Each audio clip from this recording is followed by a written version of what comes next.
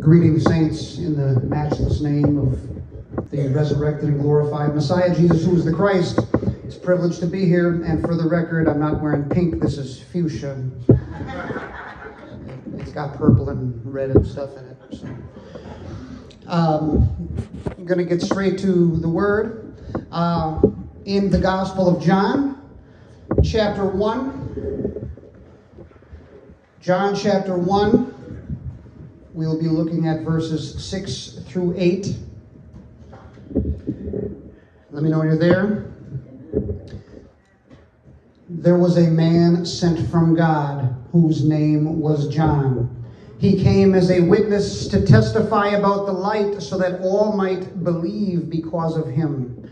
John was not the light, but he came to testify about the light. You may be seated. The title of the message is The Gospel of John, Part 4. The Gospel of John, Part 4. Pray with me. Eternal God, we are rebels against truth from the moment of conception.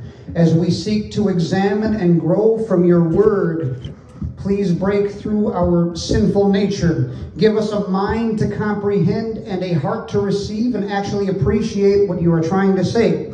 Please help somebody, and if it be your will, please save somebody. In Christ's name we pray.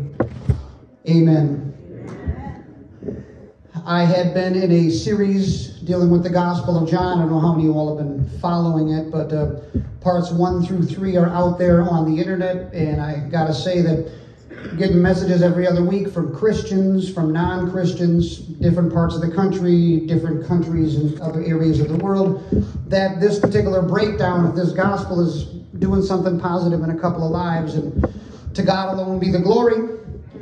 Like Eddie Kendrick, we're going to keep on trucking. I can't get laughter out of that, that's fine. The opening joke bombed. Okay. All right. No, no mercy laughter, please. In Scripture, we have four divinely inspired historical accounts of the person we know as Jesus of Nazareth. Matthew begins with a genealogy. Mark begins with an account of John the Baptist. Luke begins with a dedication to his paymaster Theophilus that gave him the cash to do the interviews, to do the research. John, however, different than all the other ones, begins with an 18 verse preamble. It's a prologue. The biography hasn't even started yet. It goes all the way back to before time and space began. It's setting the stage, it's building up so that by the time you hear what Jesus said, by the time you see what Jesus did, you know from the beginning that this is God. Before we get to what he did, before we get to what he said, we have to know who the heck he is. Why? Because down the road, as you look at, deeper at the Gospel of John, you've already got it impregnated in your brain that the one doing this is God. The one saying this is God. Who he is adds the meaning to what he does, and who he is adds the authority to what he says.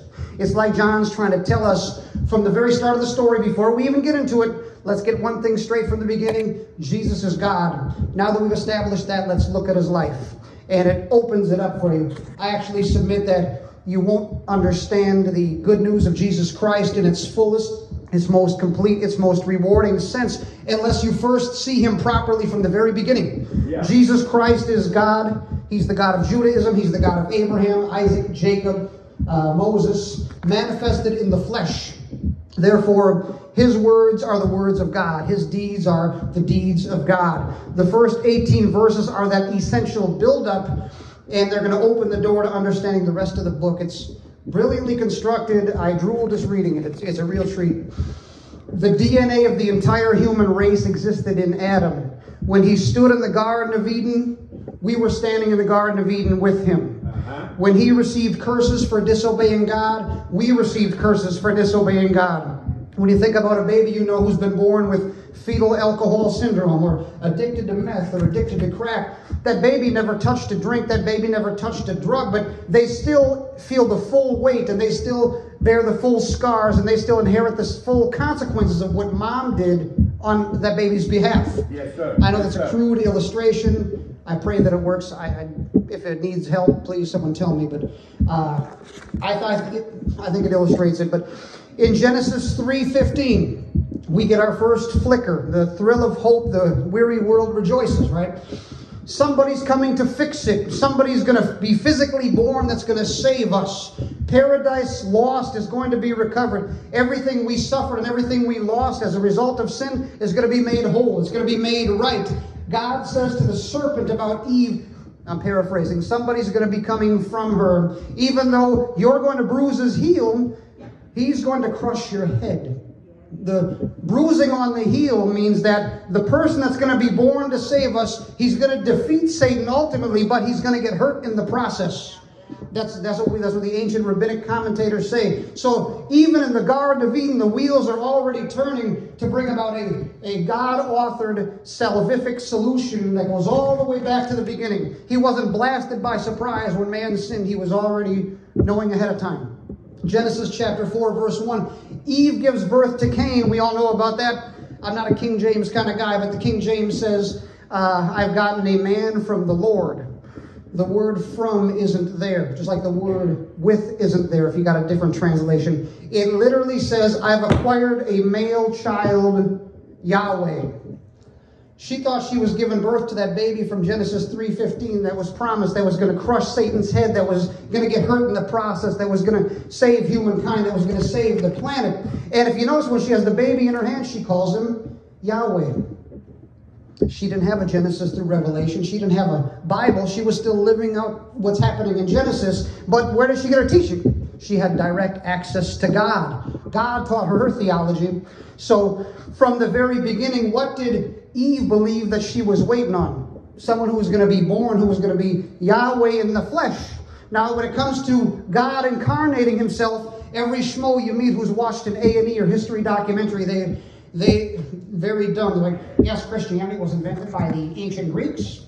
Christianity was invented by the ancient Romans. Christianity was invented by the ancient Egyptians. Christianity was invented by white Europeans. Instead of pin the tail on the donkey, they're playing pin the pagan source onto God taking human form. They can't decide on which one they want to attribute it to, but they're so frantic and so desperate, it has to have a natural source. Otherwise, we're left with, wow, we got to face the consequences of, of the teaching. They can't handle it. They're willing to believe a stupid documentary made by somebody in their mother's basement when they wrote the, their name on orange juice. They believe the facts. So I'm like, who dropped you on your head? Who deprived you of oxygen to where you'd be able to believe such horse manure? It's not even true.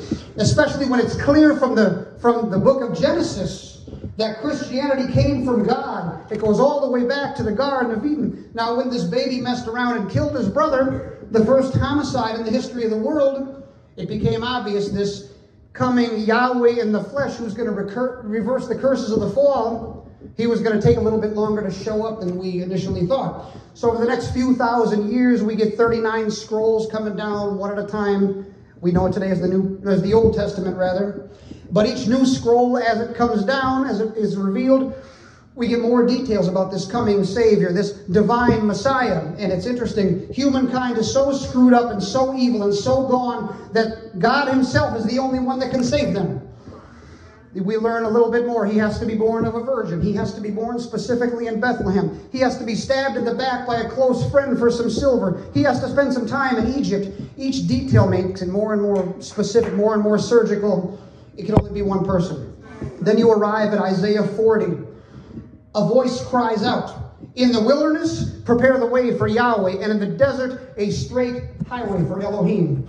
You combine that with Malachi 3:1. Watch out, I'm sending my messenger, and he will prepare the way before me. The ancient rabbis all agree when you look at the commentaries, these two passages are messianic. What does that messianic mean? It means it has to do with the coming Messiah the rabbis understood this to be God telling us that our coming God in the flesh Savior was going to have a forerunner that came before him. And I'm not talking about Toyota. Okay. Thank you for laughing. Well, before the Messiah gets here, God's going to send us a prophet ahead of time. The ministry of that prophet is going to be specifically to point us all towards the coming of this Messiah. The Old Testament prophets were talking about a Messiah is coming somewhere down the road. This prophet was going to say, The Messiah is here, you need to repent. We're going to break down the passage and then we're going to make like a tree and leave, and maybe we can all beat the other denominations to the restaurants. John chapter 1, verse 6. There was a man sent from God whose name was John. I'm just going to clarify in the event that anybody under the sound of my voice might need me to do so. Although the Apostle John is writing, he's writing about John the Baptist. There's two dudes named John, two separate dudes. Apostle John is one guy, John the Baptist is another. I don't want anyone to confuse them. I used to do it when I was a, a youth until someone showed it to me. Um, but as you can see, this forerunner that Isaiah prophesied, that Malachi pr- predicted, hundreds of years before it happened, mind you, was sent by God. Israel hadn't heard from a prophet at this point in 400 years. Prophecy was getting set to make a comeback. Verse 7 He came as a witness to testify about the light, so that all might believe because of him. So the word witness is martyr, mart, martyrion. There's different ways to pronounce it, but we get the word martyr from it in English. It means he's a witness of the caliber of the zeal to the point that he died if the job required it of him. And as you read later, it did require that of him. The fact that a forerunner was necessary for us to try to see the Messiah lets us know that people stuck in sin and people stuck in darkness have such spiritual blindness that they need someone set apart, called, and gifted by God to literally point them in the direction of light because they love darkness. On their own, they not only wouldn't be able to see it, but they wouldn't want to see it. John the Baptist is, they call him the last of the Old Testament prophets, and his whole life and ministry was dedicated to the goal that national Israel's people might put their trust in the coming Messiah that they, they've been waiting on and reading about for thousands of years in the scrolls, the law, the writings, the prophets, etc., has been all about this individual, and he's here. You should be able to see him because you've been waiting on him. Like the songwriter says, let earth receive her king. And while I'm passing by the subject, I'm going to drop this on you. John the Baptist isn't here to testify about the light so that all might believe in 2022. You know who inherited that job? You did. You guys did. I'm going to hit you with a question. The past week, how'd you do at it? Did you do a good job or do you need some work? I'll let you chew on that and think about it, all right? Verse 8 John was not the light, but he came to testify about the light. So John the Baptist was the carrier of the message, but Jesus was the subject of the message. Why does, why is he saying this? Because sometimes people be falling in love with and following the messenger to the point that they lose focus of the true meaning of the message that he's saying. John the Baptist, though he's an important dude, he was not the Messiah. He was simply the prophet preaching about the Messiah. And if you look at it, Apostle John is going way out of his way to make sure that his readers understand that Jesus Christ is Michael Jackson, John the Baptist is Tito. It's like Jesus Christ is the focus, John the Baptist is not the focus. If you look at Acts 19, the first seven verses, I'm not going to go over them, it records Paul running into a group of people who had been disciples of John the Baptist out in the desert. And they stayed out in the desert and they missed the whole life and times and ministry of Jesus Christ. And they were still out in the desert following John the Baptist, even after John the Baptist was dead, even after the resurrection of Jesus, even into the church age. And to this very day, if you make a trip to Iraq, you will find the same group of people. It's their great great grandbabies, obviously. In 2022, John the Baptist is exalted as the Savior to these people. I'm not even kidding. It still exists to this day. But, and they're hostile towards Christianity, by the way. But before God does something big, whether there's about to be a huge paradigm mega shift, whether there's about to be a big judgment, whether there's about to be something, uh, big change, he always raises raises up and gifts and sends out a communicator, a warner to, to tell the world to get ready for it. And that's what he did with the life and ministry of John the Baptist. I'm getting set to close, but uh, you're lucky to live in a time in which you have the entire encyclopedia of 66 scrolls bound into one volume, telling you with a unified voice that you're a sinner who stands guilty in the sight of a holy and just God. You, you're going to stand before your Maker one day. You're going to stand trial. You're going to be made to explain yourself. You're going to have no defense. You're going to have no excuse. You will be sentenced. Think about the worst pain you've ever experienced in this lifetime that's going to be made to look like Disneyland in comparison to what's waiting. And traditionally speaking, you deserve all of that and more. every word that ever left your mouth, every thought that's ever run through your brain, every motive that's ever energized your heart and your soul to, to perform an action, every action you've performed in your body every day over the decades of your entire life, it's all going to be put under the microscope and made bare. Anything that was done or said or thought that was not like his perfect, sinless nature is going to be viewed by him as a capital crime against him. How many death sentences do you have coming to you? Tens of thousands?